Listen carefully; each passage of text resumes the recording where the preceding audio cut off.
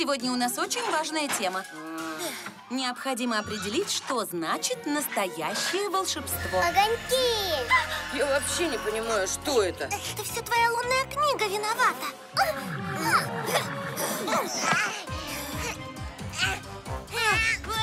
Книгу верни, кому говорю! Неужели полуночные все-таки существуют? Фейки-лейки не просто существуют, а прямо тут у нас летают.